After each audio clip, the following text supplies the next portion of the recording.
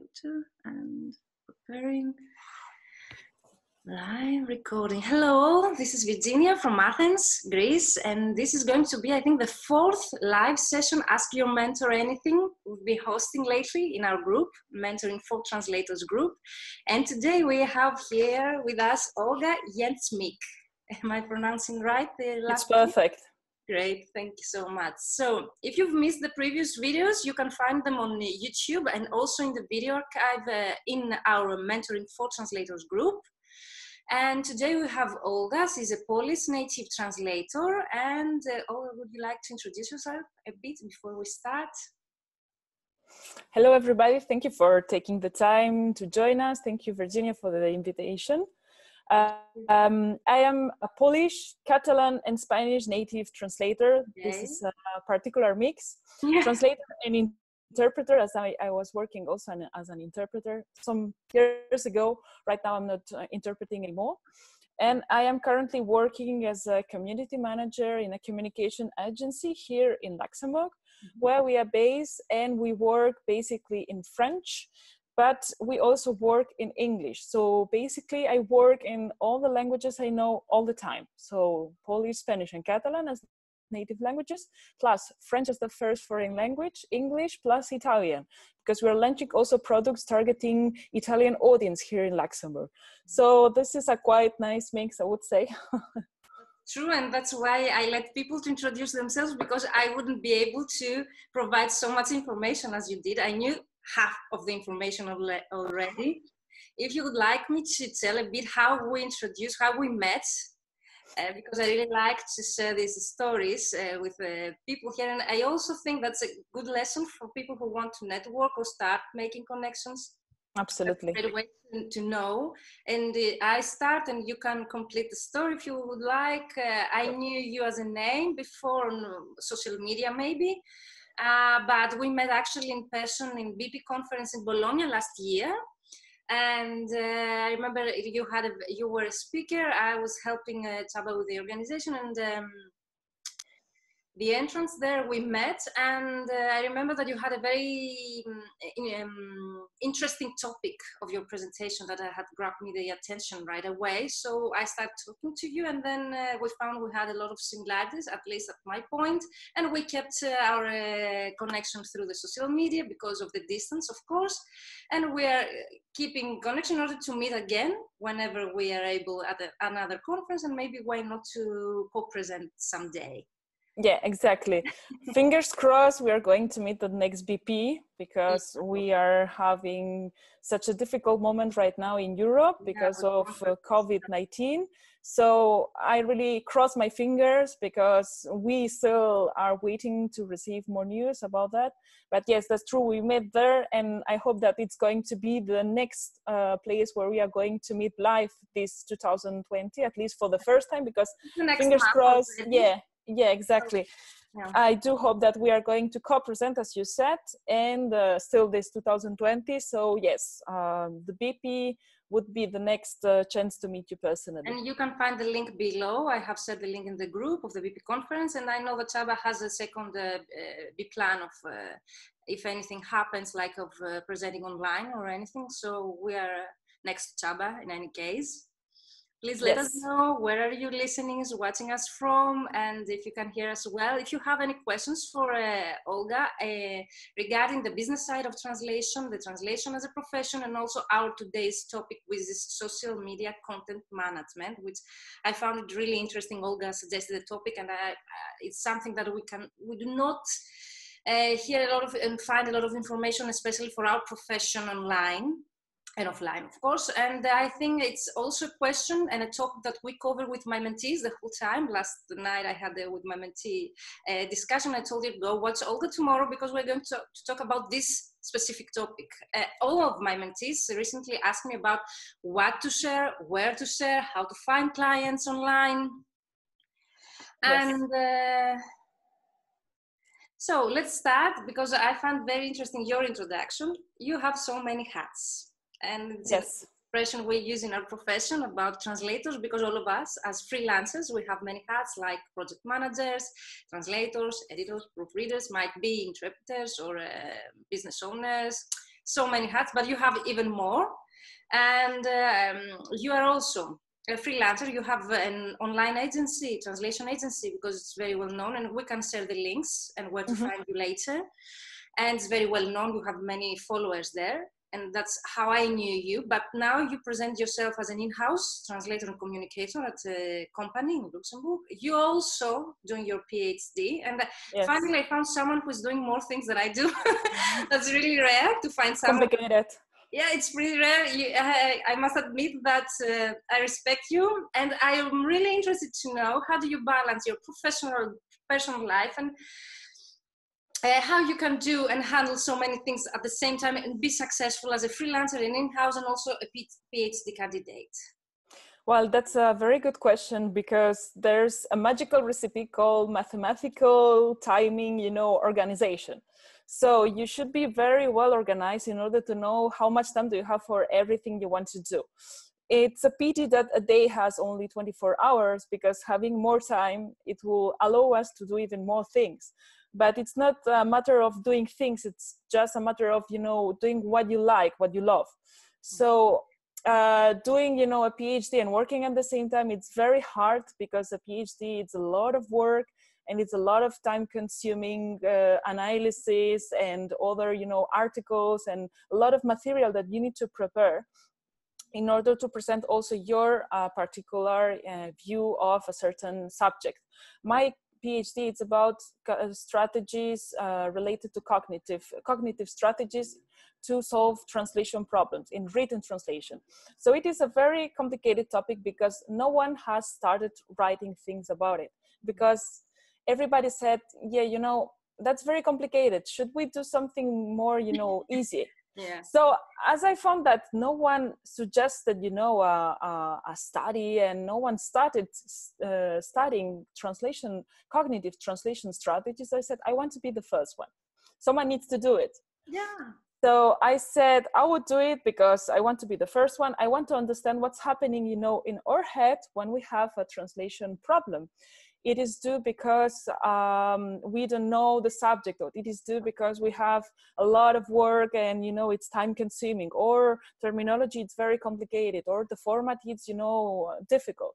So all those things could be the problem that we are facing. So it's interesting to understand where is the problem and how to solve it so it will allow us to help uh, future students to product a better final product. Mm-hmm. That's the main uh, reason I said I want to do a PhD.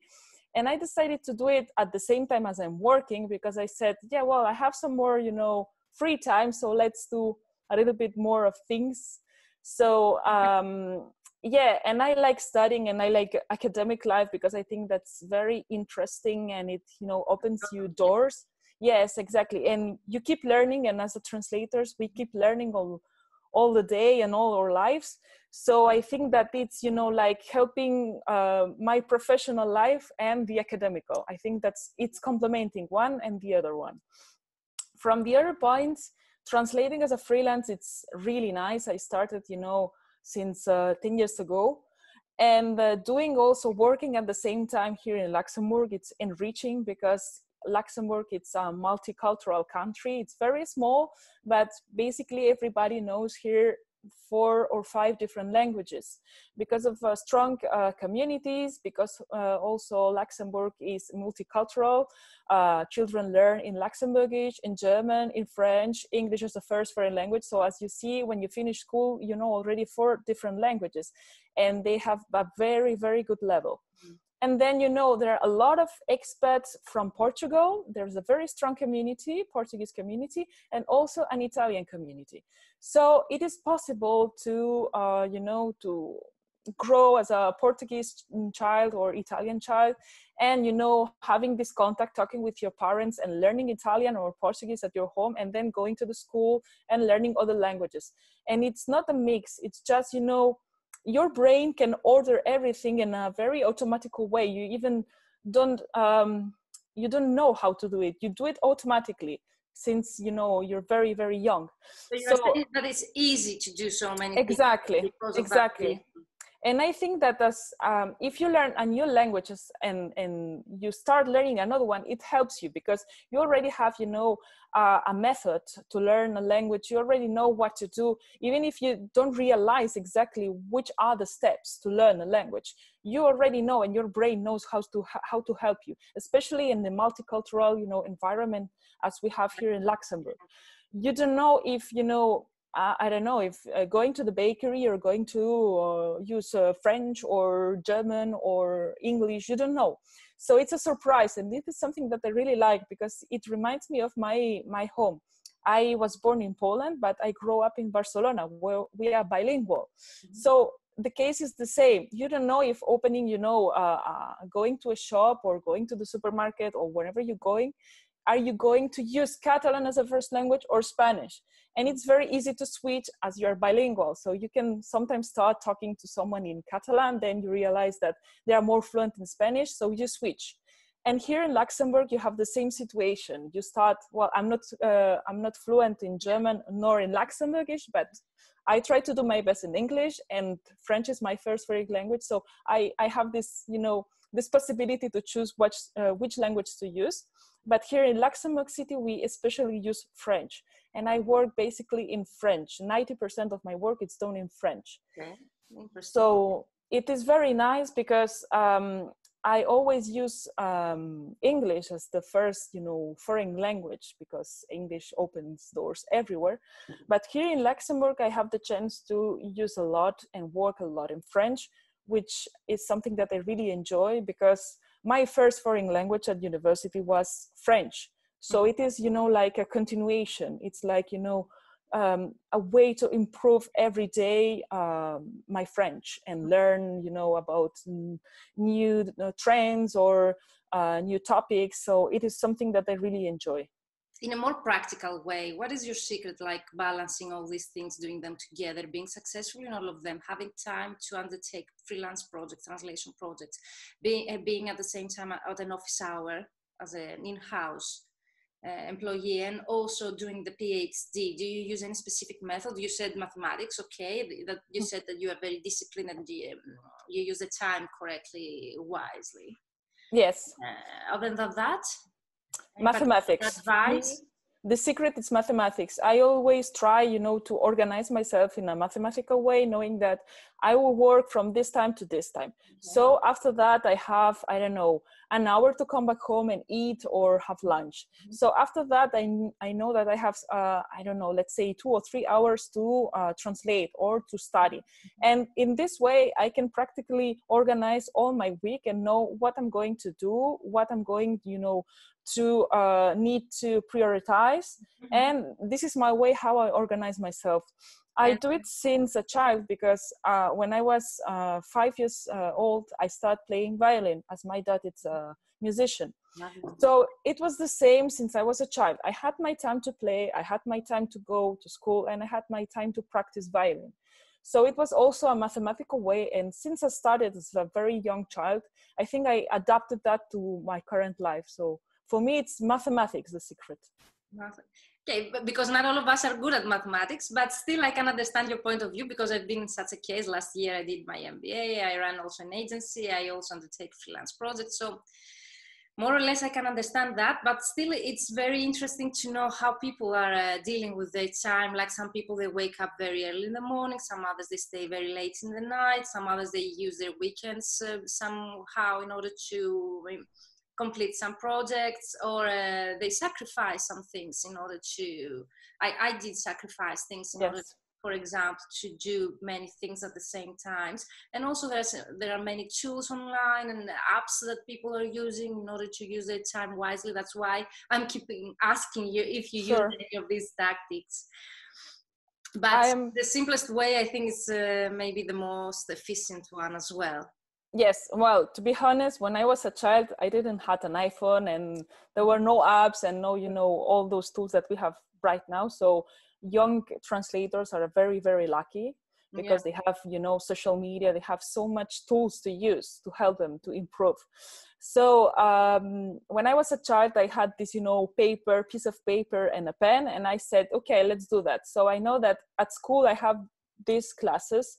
So i will establish a little bit the same thing after you know school hours. So this is what i did. And right now i'm doing the same. I have a calendar in google where i'm you know uh, writing and uh, you know making alarms what to do when to do just to be sure that i'm not you know um, uh, losing myself in my calendar yeah. and uh, i am not using right now any tool you know to check um, uh, the time or to know how much time i spent doing something because when i start for example studying or analyzing something for the phd and i feel that uh, everything is going in a good direction that you know for me starting something it's very hard because i need to concentrate i need to find you know the good light i need to find a good uh, place at home even if it's always the same place i mean at the table you know occupying all the table with dictionaries uh, articles yeah, I, I, can't tell 10,000 of different color yeah. pens you know how is it so i can tell i can tell from that. exactly exactly. So when i start doing something it takes me at least one hour to start doing it you know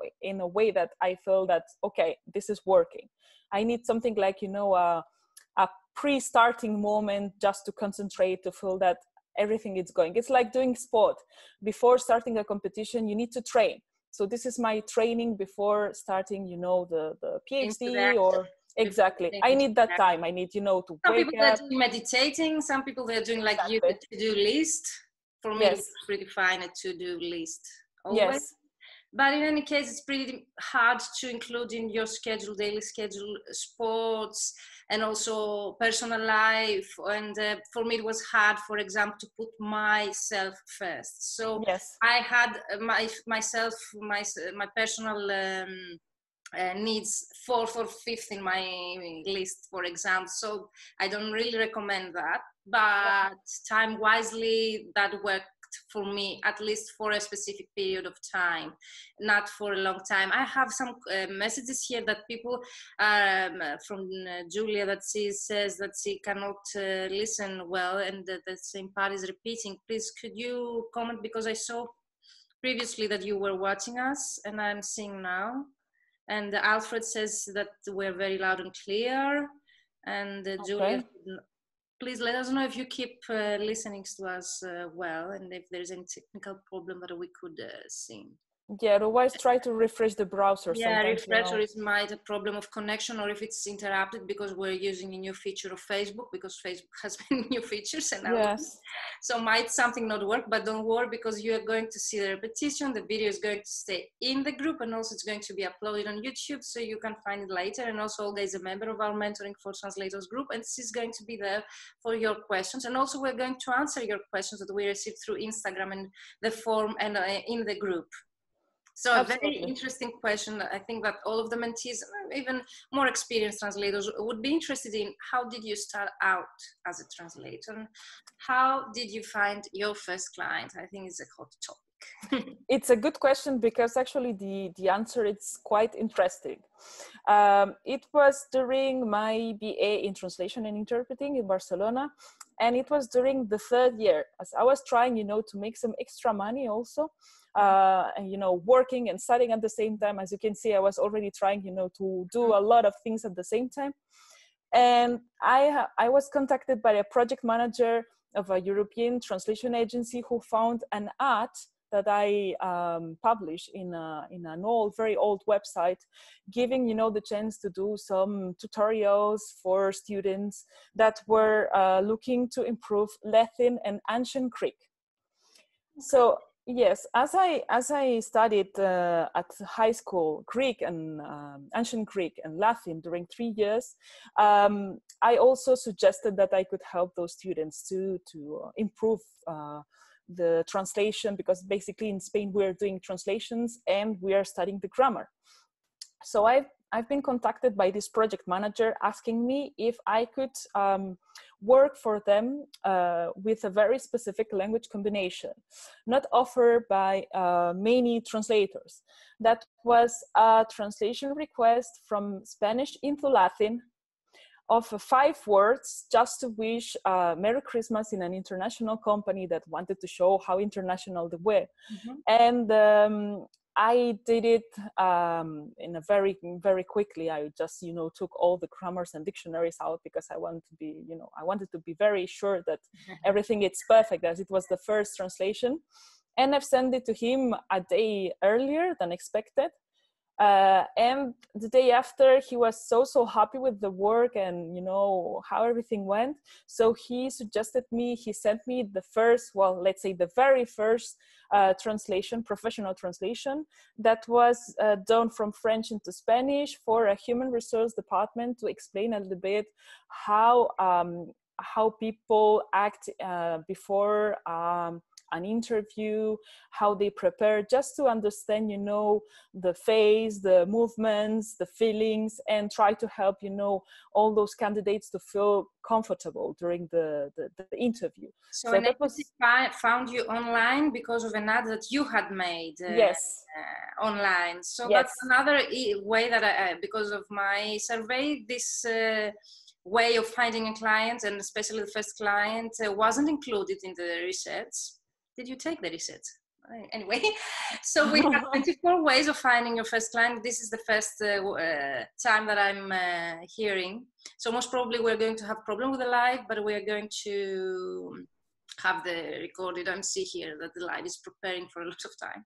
Okay. Anyway, so y- you were active in uh, that aspect that you did post the, the ad and then someone found you online. So most exactly. times people they're going directly to an agency asking for a job or they're going and answering uh, ads posted by an agency or a client. Mm-hmm. So you did the other way around. You posted an ad and they found you, which is pretty yes. Yeah, I don't yes. know this still works today, but why not? Yeah, the the the secret is to try to see always what your competitors are doing, what they are offering, and try to do something different, just to you know show them that um, you are offering something new, something that it's um, it suits better to to the solution that the, the client needs, or just to show that you know you manage you manage the topic, you know you, you know the topic. So what I tried to do was exactly that. I I I had a look at different websites to see what people was offering and i did something different. I remember you know taking the time to uh, write very well the uh, the ad just because I, I wasn't sure that you know it was my first ad so i wanted to be sure that the content was clear that was easy to understand. And this is i think the the solution. This is why they they contacted me because my ad was different from the other ones. Oh nice yeah, it is. And uh, why not people to try that way too, if they feel like they're going to see results and depending on the country that they are based. Yes. Um, another attempt of going live on Facebook. That's the last one. But still, the video is going to be broadcast later anyway. So, did you continue having this uh, cooperation with the agency later? Yes, I, I worked with them for several years. Then in the PM uh, change uh, agency, so I'm I'm still working with them. I'm very happy.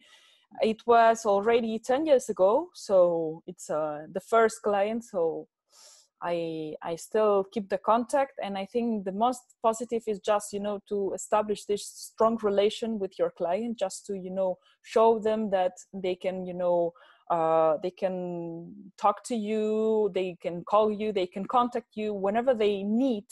But you know respecting your timing respecting that you have your weekends you have your uh, your other projects you have your phd you have your work. So you don't you don't accept any um, urgent project for example with a very strict deadline? I try to uh, make a spare during the week just you know to be sure that i will also have some time you know for for such projects. sport activity for myself and also for the phd which i said it's so so time consuming. But yes if there's a translation from a good client that needs to be done in a very specific way i always try to help or uh, i send it to one of my colleagues with whom i, I work because we have something like a tandem. So we exchange some of our or projects and we help each other so it's a trusted colleague nice that's very interesting and that's very interesting for people who are listening to us because i have mentees that they tell me i don't want to work with strict deadlines or my lifestyle or my health health reasons do not uh, allow me to undertake such projects. So mm-hmm. that's another way, that alternative way they can do it in order to make a living. Yes. When was the moment that you did scale up as a freelancer at the beginning, for example, or a business owner, online business owner?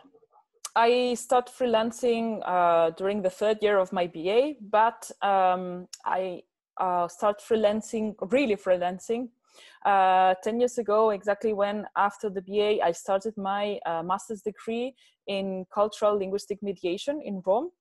And at the same time as I was studying, I was doing also an internship in a translation agency based in Rome. So I had this, you know, um, I started learning also how project managers were working at the same time as I was freelancing for the agency. So it was a very nice first uh, professional contact with a translation agency. And after that, uh, some years after, in 2014, I created my, my website called 20 Mil Lenguas, mm-hmm. which has also a nice history because um, the name is due to a novel by Jules Verne, 20,000 Leagues Under the yeah. Sea. Because leagues in Spanish, it's leguas, and lenguas, it's languages. So it's a, you know, linguistic joke. Yeah, yeah. And at the same time, as I work in six different languages, and then I also offer my services as a translator in yeah. ancient Greek and Latin, my friends told me that you know more than 20,000 languages. so I play with that and I said, I think that would be a good name for a website and, you know, for a blog and, you know, for for a business because you understand that it's something related to languages. So, so can you repeat was... the name? The name I know the name, but can you repeat in order that people they can find you online? Yes, it's twenty thousand with numbers. Lenguas. Yeah. Dot com. So you can find the website, uh, which has a very you know um, well known in Spain blog because it's basically in Spanish. Um, and I also have um, Instagram profile and also a Facebook page where I share, you know, topics uh, related to humor and uh, translation and languages. So uh, you can find a lot of very, you know, every day I post something different. I try to, you know, do it in a humoristic way because I don't want to, you know, to project a very, you know, um, professional, only professional, you know, uh, point of view. I, I want, you know, to share something funny that, you know, uh, makes understand the client that you know languages are not very strict but they are also funny. They are you know yeah, you can find humor. I follow you yeah. so, yeah so follow, follow, you before even we met like uh, oh nice. yeah very well known blog. It was at least yeah but it's in spanish okay? Yes. so um, can you repeat the, the, moment that you did scale up as a freelancer or, uh, yes it was then uh, in 2014 uh, when i started you know when i opened the website I open it in WordPress with you know a free uh, WordPress um, option, and then I realized that everything was going very very well. So I decided you know to buy you know uh, the name, mm-hmm. and then I started you know working closer as a translator, so dedicated translator the moment was a coincidence that you made the website or you are telling us like by do the website if you want to launch your business. Really? absolutely. Yeah, I, I agree with that but my moment for scaling up for example was after eight years for example i had my website. So scale up uh, at least in my mind is the moment that you gain your financial freedom for example or yes. freedom to accept projects that you would love to work with or you gain your dream client, for example, you will always want it. So for me, scale up is okay, yes, to have a professional image or a professional website or an agency or whatever someone has as a professional uh, image of their business, but um, it's very important the moment scale up in a business is you, you you're doing the next step in order to gain your financial freedom or to become established as a translator as a professional the way you had in mind when you started out so, yes it was you know what? for you or the clients came to you because of the website? The internship at the translation agency in rome opened me the doors of uh, translation of the translation sector. Why? Because i became the principal the main spanish catalan and polish translator of this agency and i was receiving a lot of different works uh, especially translations but also uh, proofreading works and projects um, basically in spanish but also uh, into catalan which were very singular because it was uh, strange to receive such a project coming from italy and then also in Polish. So as I became the principal, uh, the main uh, translator of this agency, it opened me the doors to, you know, to meet other clients, to meet other colleagues. And then I realized that uh, I would need a website, I would need a name because I would, you know, need a brand to present myself in a certain way because I can say, yeah, well, hey, I'm translating from Spanish, but who are you? You need to present yourself in order, you know, to make, uh, mm, to meet people and present you from a professional way, not as just a translator because you know there are a lot of translators. I know translators with just a Gmail or a personal account that they yes five or six figures business. So yeah, well, actually, I I'm not criticizing that. I'm just saying that uh, yeah, from the branding, you know, perspective and from the manager's point of view, it's always very positive to have a brand to establish you know a website to uh, decide oh, which is your target audience what you what you you want to share with these people. If you want to share your personal um, i don't know the professional life or professional life mixed with personal life. If you want to explain them how uh, translation project looks if you want to educate them or if you want to help colleagues younger colleagues that are starting in, to work as professional translators. So you really need to establish you know guideline and try you know to keep it as alive as possible because uh, it's hard you know to do everything at the same time. It's hard to write a blog. It's hard to control your website. It's hard to do translations work sports phd life holidays. You know you have just one life and and it's complicated. You know how it looks uh, but in any case, so I assume like the internship was a very uh, changing point in your career, wasn't it? And then yes. when you became established as a brand name in the yes. business, yes, when you got the clients you would like and the financial freedom, if we can call it as exactly, so. exactly. And um, what is the preferred, more efficient client acquisition strategy? Because I find like very interesting question for all the members of the uh, group. Yes, uh, I like to define my target audience. So, in order to do that, I always prepare a folder with uh, all the information I can find about a specific client.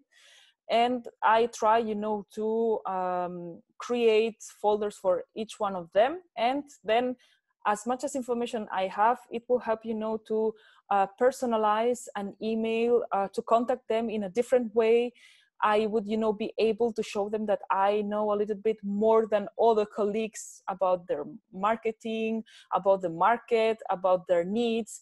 If they are, for example, not present in a certain uh, country, I can show them that I'm not only the specialist who will translate from lang- one language to another, but also from one culture to another culture, which is very, very important.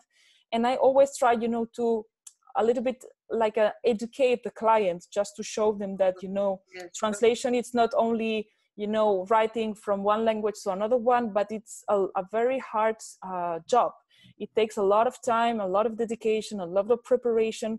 And you know if a client comes from a financial sector or from a i don't know from a scientific uh, environment they don't know how translator works. So this is why we should always try to educate them try to explain them how it looks. Just you know to give them this plus to make them understand that we need an extra day because we cannot translate 60000 words in in 24 hours.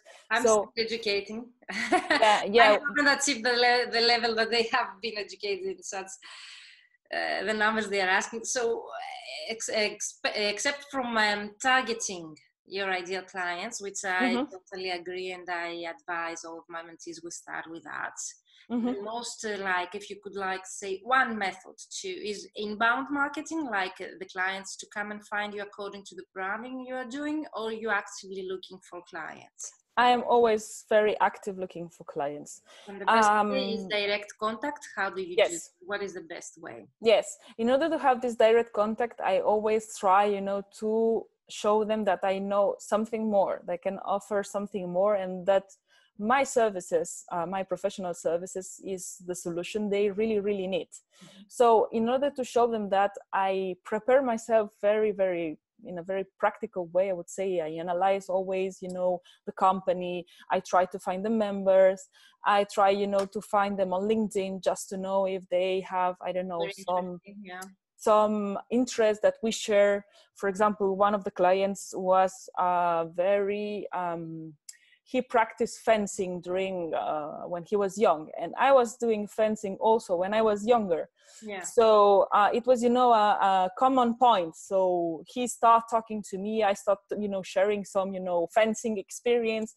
And then he realized that yeah well actually we really need a translation that uh, will help us you know to grow up in a spanish market and it started like that just you know talking about something different not related to the company and not related to business something like a common point sport. So i think that this is a, a good example to understand that we should you know be able to find these you know connections and not only from a business point of view but also try to make it personal make it you know different. So it helps uh, the client to understand that we are not only a number we are not only a machine that will you know uh, send a final product but we are also a good colleague who can share you know some experience who understands the need of the company who understands the client if he said he was sick or whatever happened so it's you know my strategy you know to yeah. try to get as much as information as possible try to you know target the client very well know the market as much as possible of course because not the information is accessible. But uh, when you start looking and when you start searching and especially if you did an mba or a master degree or if you're doing a phd you learn how to look and how to search for information. So you enter the forums you contact people you ask uh, on uh, facebook groups or you ask you know other colleagues and it's it's a way it's a strategy you know to connect it to find this you know information that it's somehow hidden. And that's the strong point that's the strategy. Find information find something different that others would not use to sell a professional you know service. Can you give us an example? Yes as i said uh, the one of fencing. I I prepare a presentation and uh, they ask me why we should hire, the company asked me why we should hire your services, why we should work with you as a translator. And I said, well, I'm actually not only a translator, but because I'm multitasking and multilingual at the same time, because I'm not only translating, but I also play the violin, I also play the piano, I also did uh, fencing and swimming, and I also did so many things that I feel strong and I feel that I could deliver a good quality product also related you know to sport or to uh, music. Even if your company is you know uh, looking for a specific service in a specific field. And this way to you know to introduce myself and to self sell myself but showing that i'm able to do different things not related only to my business like translating all the time or uh, sending i don't know interpreting or doing something related to that that was you know the point that was the the the thing that opened the mind and that opened me the door to access to this company and then you know start working with them thanks to fencing thanks to sport yeah. so, so use all your power use all hobbies information exactly. that you might have so to sum up you use the social media as you said you use yes. the contact most probably use email direct yes. email strategy Yes. And uh, you personalize your strategy by making a very good research about the client and yes. trying to um, make a connection between you, your knowledge, your background with their needs and uh, their uh, object of the, the. Yes, their goals. Yes. Yeah. Uh, do you have any relationship with mentoring by the case since we are in the mentoring group? As a mentor or mentee i guess you have. Yes uh, thanks to my website which became more a blog than a website because the main idea was to share you know just some information related to translation. And when i started i thought that I wasn't the best person to show how much I know about translation because I thought, yeah, well, there are a lot of different blogs uh, that are um, blogs from different, you know, translators that had, I don't know, 15 or 20 or 30 years of experience. I had just four years of experience when I started my blog. And I thought, yeah, well, let's start, you know, quietly, slowly, you know, piano because I thought I'm not the best one to show how much I know about translation. So I started, you know, showing uh, some technical things about languages, some, you know, useful information. And then I start, you know, posting about what I was doing, how a project was looking or what I found interesting. And I was always trying, as I said, to analyze. I love analyzing. My life, it's an analysis. And I tried, you know, to share content that was unique create content that wasn't you know uh, presented by any one of the translators or the bloggers or anyone. So this unique this idea to create something different something new helped me you know to to open a lot of you know minds and people start writing me asking me for uh, what to do after the ba degree or which tool is better to translate or if uh, they would i don't know uh, travel and stay working in a country it will help them you know to improve their knowledge in a specific i don't know way and all those questions technical questions coming especially from younger colleagues but coming also from older colleagues who wanted to ask about you know social media or about blogging or content management. And i thought it was really nice and i still keep this content. I, uh, I keep the contact on facebook i keep the contact on all my social media channels and i try to be very active because uh, then I really like, you know, to get the answer from people telling me, hey, you really helped me. It was very useful. So it is something that I do for free. And I do it because I love my job. And I think that other people mm, would, you know, had the chance to learn a little bit, you know, more. And it will be easier for them to give, you know, to product a final uh, product. yeah, for the Spanish speakers and Spanish. Um, Especially for them because yeah, the blog it's in Spanish. your blog. Yes. So you mentioned another way of uh, doing mentoring, like through blog or advice, written advice that we might uh, give to our um, readers, for example, or to other colleagues, and then keeping the interaction through a blog or through social media. Mm-hmm. That's another very interesting way of providing mentoring. And uh, I think it's about time to talk about our topic. Have you prepared anything you would like me to ask you? Uh, the question after you complete uh, your presentation? Mm-hmm. Um, we were talking, we said that we would explain what to share, where to share, and where. So basically, uh, for me, for my business, uh, there are two tools that I really, really use. Uh, one especially to find clients, well, three exactly, because mm-hmm. I would say that also my website, my blog, it's a tool. It's okay. a presentation CV. I would say that if mm-hmm. you are a translator, also, yeah. Yes, if you are a translator in 2020, you should have a website, you should have your brand, you should be online. If you're not online, and if I'm not able to Google you and find you yeah. uh, you're not you know alive in this world would say this yeah digital... but might be present on linkedin on ProZ or any other platform exactly. for translators exactly. so it needs just an online presence exactly not only your website but you need an online presence and as stronger you will have it and more you know uh, more completed uh, then it will be easier to reach um, your personal and professional goals.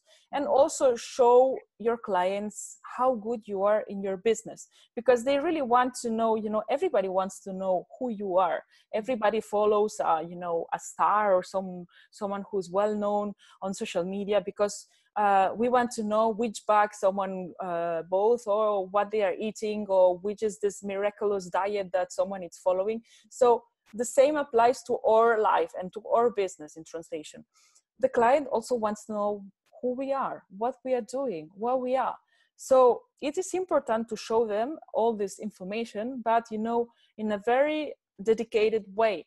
So this is why I said on Facebook, I always share information related to translation, trying to, you know, make it look funny, uh, try to make it, you know, nice just you know to make you smile because it's not only about business but it's also about having a nice you know conversation or a nice you know uh, connection okay. then on linkedin i always try you know to update my uh, my profile and show always you know that um, i know the, uh, the sector because i work I give a lot of examples. I also ask my colleagues just to write, write me two or three good words mm-hmm. and show in this way other people and other clients that yes, I am I am good in translation. I am good in my uh, own business.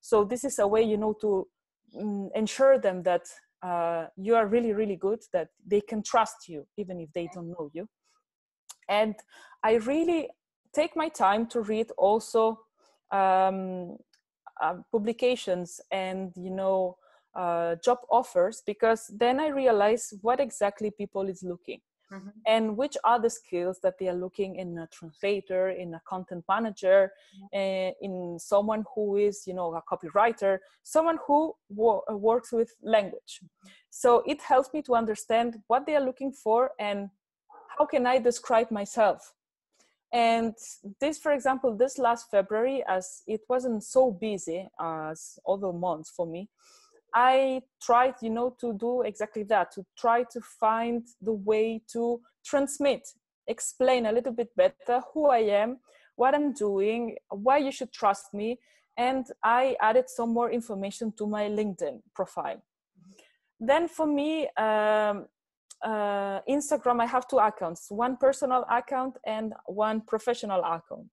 I started really recently the professional account because I didn't realize that it could be a strong tool also to find, you know, clients and to, you know, make a name online. I agree. Is, Lately, which is, Instagram is yes. gaining more and more. Uh, exactly. Instead of Facebook, for example. Exactly, and uh, especially um, if you look at you know rankings uh, among young people you will see that instagram is the first social media used so uh, if those young people are now young but in several years they will become your clients. You should be also using the platform that they are using. Mm-hmm. otherwise they will not find you because they will not use for example facebook or linkedin we don't know. For the for the moment the tendency is to use all those you know facebook linkedin and instagram.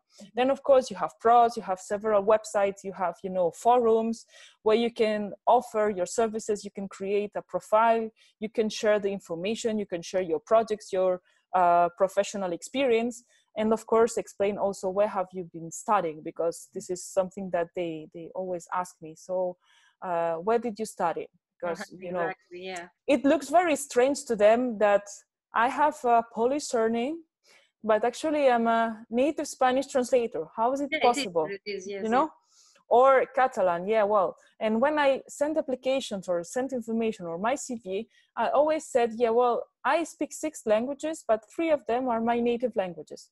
So they always ask me, how is it possible? Could you please explain that? Or could you please give us some examples? So this is why I think that info- the information that you share should be, you know, very well studied, very well prepared. And it is not something that you just do once and then you can forget uh, forget about it. It is something that you should, you know, update all the time, at least once every two or three months, just to give them, you know, just to share uh, a feeling that you know showing that you are online you are always there. And you know not only using for example i'm not only using linkedin as a tool to find clients but also use it to share uh, information related to my business. So recently i've been sharing the tendencies the social media tendencies for 2020 or I share the information related to uh, which were the most used social media tools in Luxembourg in 2019 to have an idea of what we will use here in Luxembourg in 2020. And I found this study done by Hootsuite, uh, done uh, by all the countries of Europe, uh, all the countries of all the world. So these guys did a huge, you know, research and they do it every year uh, showing exactly who is connecting from what uh, device if it's you know a laptop if it's a, uh, a, smartphone if it's you know a computer how much time they spend if there are more visits coming from a specific you know geographical um, region of a country. So all this information that you as but a client related information that you yes exactly and on LinkedIn as well. Yes. Uh, while on Facebook it's more like funny and social and maybe other colleagues oriented. Uh, yes, it's more for me. It's more a tool to connect with colleagues to share my professional experience, but also to you know to attract colleagues mm-hmm. because it's very useful you know to to work with colleagues and you know to know them because as i said you never you always learn and uh, colleagues can help you know with uh, tools or with a dictionary or with a specific you know subject where, where, they are professional you know or they are you know specialized. So it is you know uh, like a meeting point and uh, a meeting point online. because we have um, a specialty, if we can say like that in our profession, that we can have our colleagues as clients. Yes. And we can get projects and clients through our colleagues, like referrals. So keeping a network very close and keep your name up there in, uh, among other colleagues, for us, it's a way to find jobs, projects, and clients. And I know because of my mentees, sometimes they, the clients are only colleagues because they trust mm. them, they know how they work. Um, among colleagues, uh, you know the way that the translator works. So you solve a lot of problems that you might have with direct clients, for example, or agencies by working with colleagues who respect you, your time, the way you work, and the quality that you deliver. Yes. So I, I advise them, yes, to keep a space for networking mm. with colleagues if that's also a client that they would like, but also referrals. I have my biggest clients again through referrals from colleagues but yes. those colleagues who might work in the um, private sector they could be employees or in-house translators so sometimes in their career someone was looking for a freelancer doing business translation like i do and sworn translation and uh, legal and they introduced me to the, that client of theirs mm-hmm. who would like on a freelance basis a translator to deliver their work so i totally agree yes. with you so you mentioned facebook LinkedIn and Instagram. These are the three tools that you mentioned in your introduction, besides yes. website, I mean. Mm-hmm. Yes, and also, of course, you know, professional forums, um, uh, professional websites where you can, you know, uh, as you said, share the experience with all the colleagues. But for me, I especially work with social media. Uh, from a personal point of view, I do it because I like social media. That's exactly what I'm going to say. You have to like to do it because if yes. you don't, you cannot feel pressure to do it and under pressure you do not deliver the, the, exact quality that they want the social media needs specific needs they have specific needs in terms of uh, uh, what you post when you post and um, yes yeah exactly i agree i agree with that so for me social media it's it's a personal way but also a professional way to share what i'm doing who i am and what i'm offering. It's you know it's like a mirror. Yeah. so i always try you know to be very careful with what i'm you know sharing uh, what i'm talking about uh, which picture i'm sharing just you know to be um, to understand that uh, my post would be seen now in 10 years in 15 years and i would be i should be proud of what i'm sharing and the way i'm sharing. Yeah yeah. you need you know to be yeah yeah yeah because you know there are a lot of you know spammers and haters that will you know yeah, criticize exactly. your work. yeah, and exactly. what i'm trying to do is you know to be you know as much as transparent possible just to show them that we are all humans. We can you know um, do mistakes because uh, that's absolutely normal. But we also um, are professionals that uh, learn all the time and that you know provides a good final product so that's the main reason Okay, so any other social media that you would like to share or you would like to focus on these three? On the three, basically okay. three. Okay, I agree with you. Instagram and Facebook are gaining also more and more presence. I wouldn't, I wouldn't call LinkedIn as a social media because I'm yes. not seeing social there. It's more like a professional way to promote your existence as a professional, mm-hmm. your work, the quality you provide, and maybe interact with some other professionals. Yes, and that's the way you we should do it. So I totally agree with you in uh, all the ways that you mentioned and we could go any deeper but we are also one hour speaking right now. Thank you so much for your time. Is there thank anything you. else you would like to add or we can go to the questions? We can go to the questions. Let's okay great. Thank you so much once again And what I would like to add is because I get all the, these questions what should I do? Which social media should I use? Uh, what should I post where for my mentees? And they get a bit of frustrated because of time mm-hmm. limits. We do not, we cannot be all on time all the time on social media, for example. Or sometimes we get stuck what to, to share that because that is a client oriented content, or to share that because it's a. I, what I advise them is what you already mentioned that you have to love what you do I love social media. I'm always yes. on time. I answer right away when someone sends me, unless I have a health issue. But it's something that I really enjoy doing it. I don't feel pressure to do it. So, mm-hmm. uh, as you said already, I also advise my mentees to do what they love because if you do something that you really like and you really enjoy, like for me, interacting with colleagues and in other groups, I really love it. I don't feel any pressure and I can do it in order like to relax or take a break from my working. Uh, project or uh, mm-hmm. hours. So it's like taking a break. I don't feel working. I don't feel promoting my, my work there, even though some uh, colleagues, they tell me, oh, you're all, all the time on social media and you're promoting, you're doing a great job. I don't see it that way. I'm doing yeah. it spontaneously. Exactly. I'm posting things that I find interesting myself in order to share with other colleagues. And I, doing, uh, I do it like without any other purpose other than that. Mm-hmm. But at the end of the day, it has a result also as my presence as a translator and also uh, give me credentials or somehow because of the, the content that I share. But uh, my advice is to use the social media that you really like to do. If you like Twitter, for example, we didn't mention Twitter, go for Twitter because it needs a different content management strategy. Of course. And um, as a matter of client acquisition strategies, you already mentioned that you use LinkedIn, you use the social media as client acquisition strategy, and I really agree with you. But not many colleagues do that. Mm-hmm. And uh, it needs a specific strategy to do that because not all of our clients are there. For example, yes. biggest clients are not on social media, for, for example, like Facebook. Mm-hmm. But I get, as I told you, referrals from other colleagues being present there and, uh, and providing content that they find valuable and establish me as a professional. Yes. Uh, so to sum up, this was the social media you said, your website, your branding, your blog, and um, your active direct contacting clients uh, yourself. So it was so useful information. Thank you so much. Thank I you. think that we have helped a lot of people. Let's go to the question we got from Jennifer. And Jennifer is going to be a, another speaker in another session with uh, us here later. I think next month we'll see.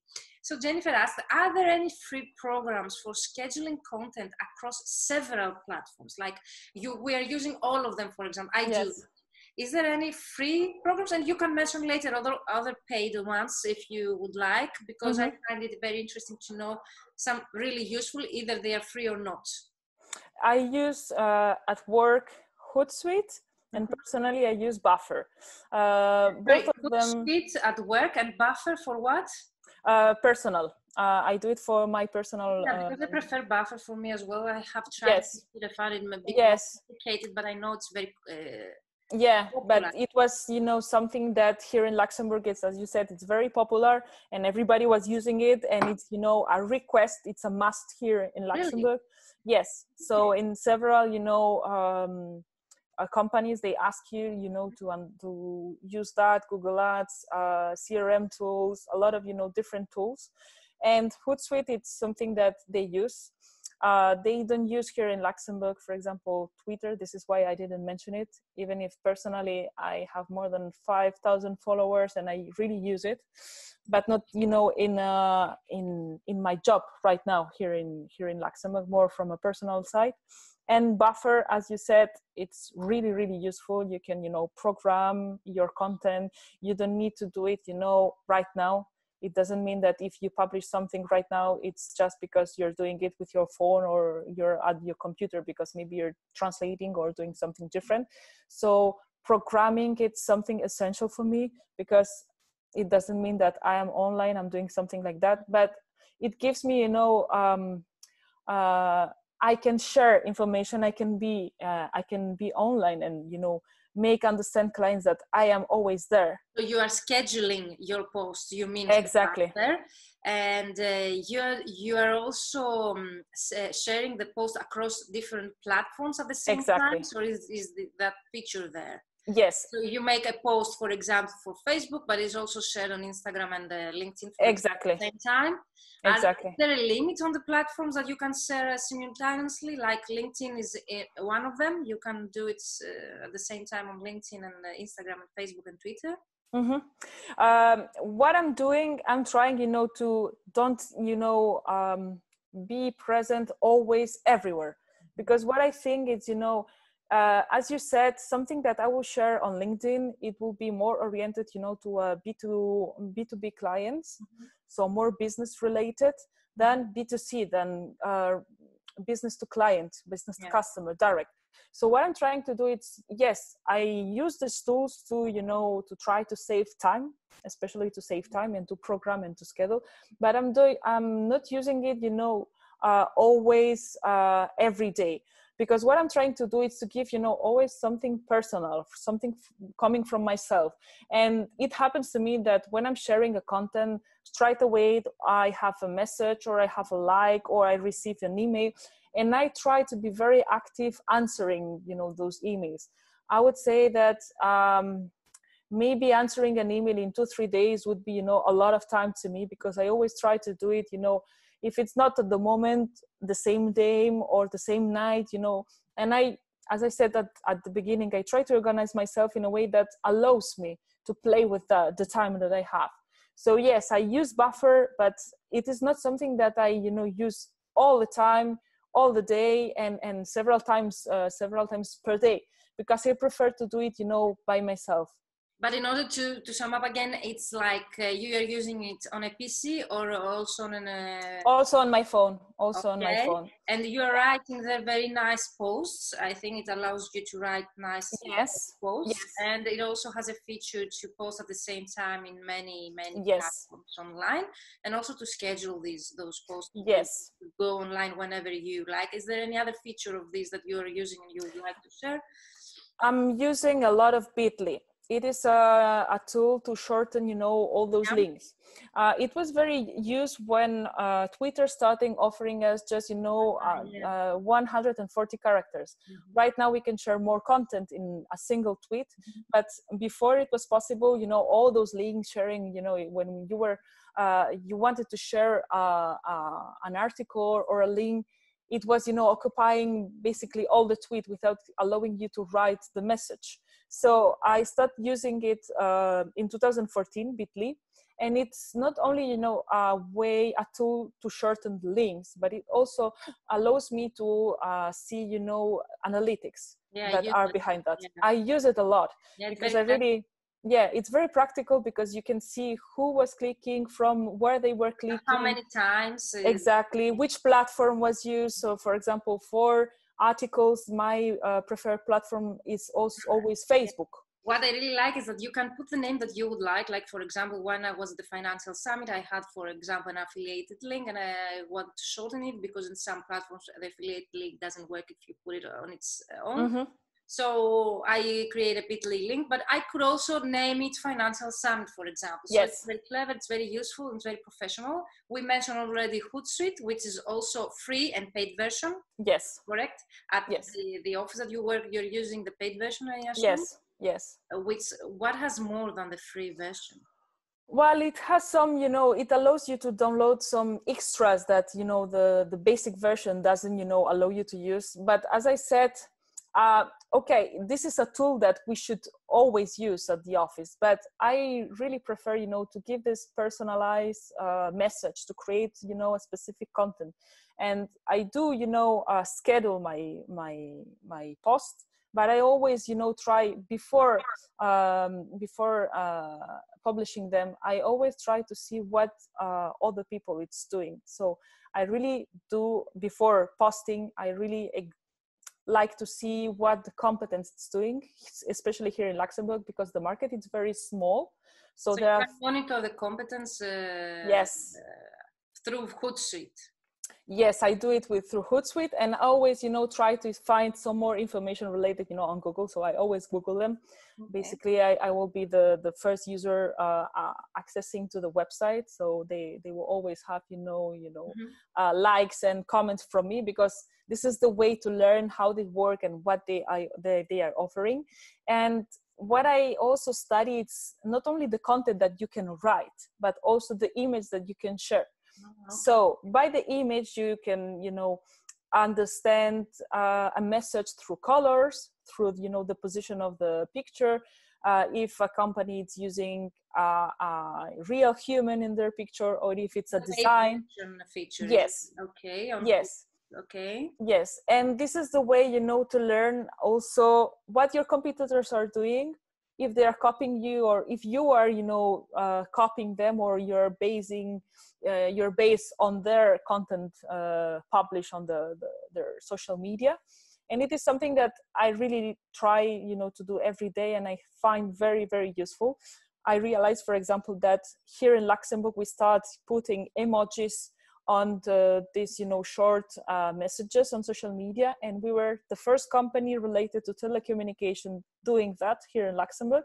And then other companies other competitors start doing it and they're even using the same emojis to show here you can click for for the link. They start using bitly also so you know it gives you ideas of okay it means that i'm doing my job in a good way. It means that someone else is you know copying my strategy which means that it's a good strategy. It's a professional yeah, way. so. Recently interviews live interviews in other groups so I totally understand what you say. But please guys be authentic it cannot be any better thing that you can do in your life rather being authentic because by copying other people's strategies or what they are doing it doesn't make any sense okay? It's good to see other people doing the same thing that you do but for me it doesn't make any sense for seeing people in my group going and doing the same thing in another group. Do something that's authentic on you because that's the reason we exist i think uh, in this yes. you should we should be all unique. We should all try to you know offer something different. things? yeah exactly. going to do something different.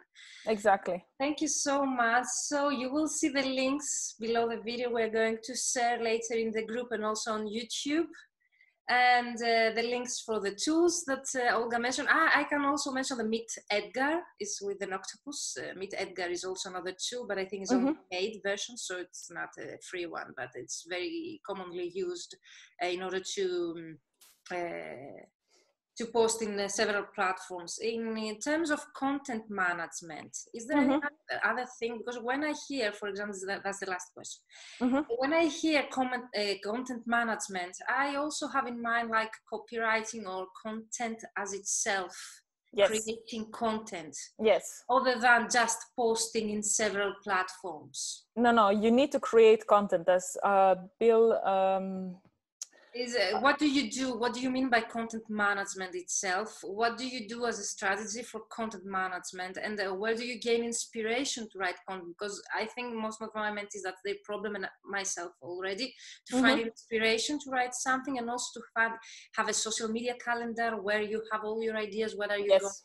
post where yes. do you find inspiration about such uh, topics and uh, do you use any tool in order to as a calendar to schedule uh, i have i have uh, itself, not the posts as we mm-hmm. mentioned already the content yes i do have a calendar i have a calendar um, with all the campaigns with all the actions that uh, we want to do Mm-hmm. And uh, what uh, I I always do is I try to find uh, information related to this content.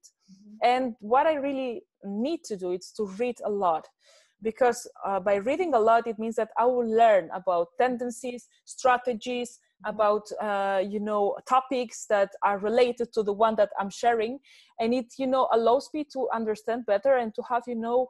Uh, um, a bigger point of view will help you to understand better the topic I am talking and the topic I want to present.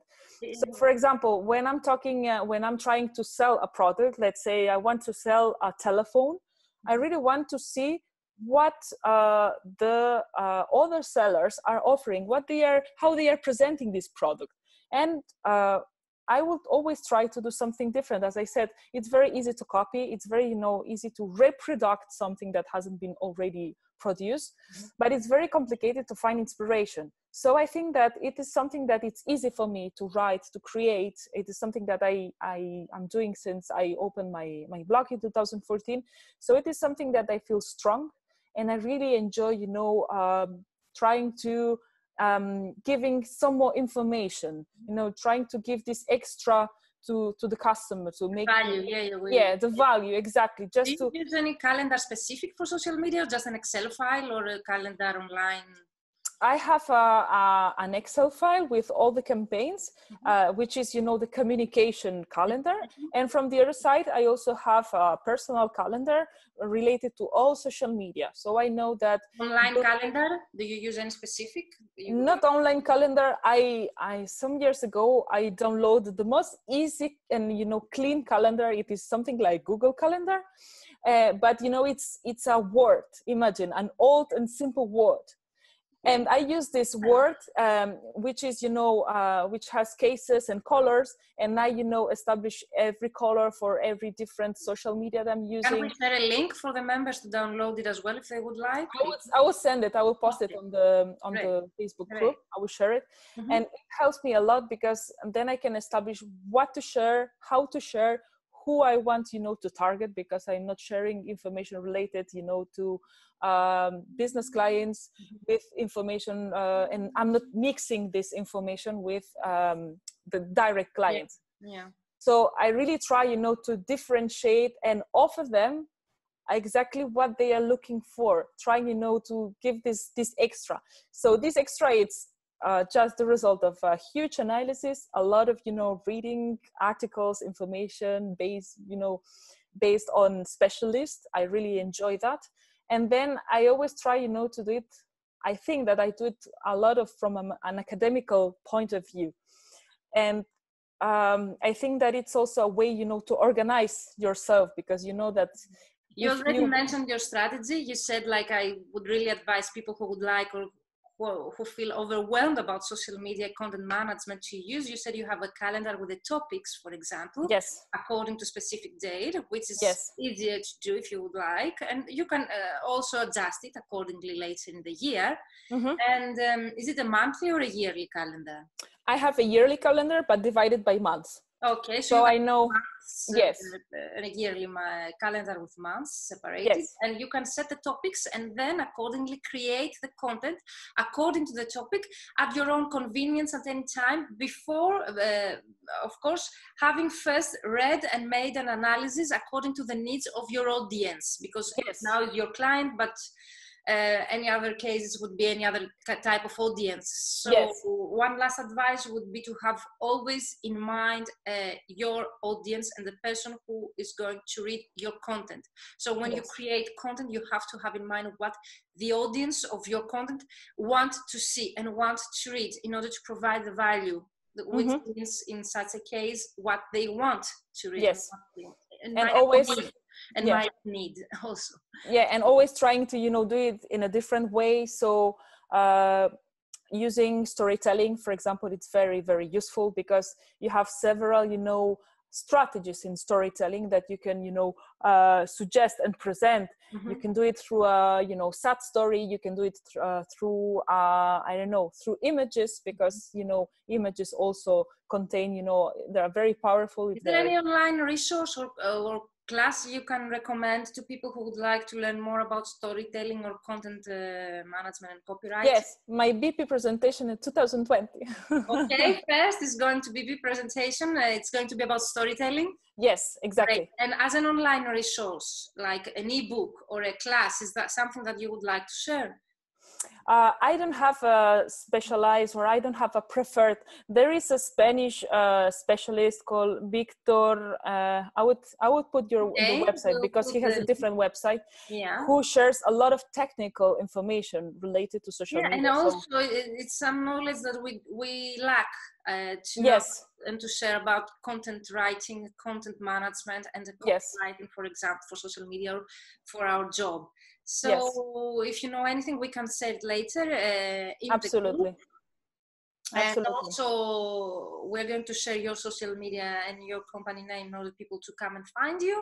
If they Thank have you. any other question or meet you at BP conference or any other, uh, follow Olga to find out any other uh, presentations of uh, her.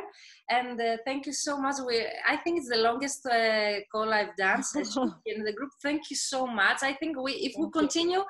We could talk like uh, I don't know for how long because it's very interesting the topic itself, and you have so much information to provide. So thank you for now, and we might thank meet you. again for another session with another topic or even more information on the same topic according to the members' comments. I've seen that you have completed the form also with some questions, which Olga is going to answer in the group. You're going to find out Olga's answers to your uh, questions. Olga, thank you so much. Thank you. Thank you, Virginia. For joining us.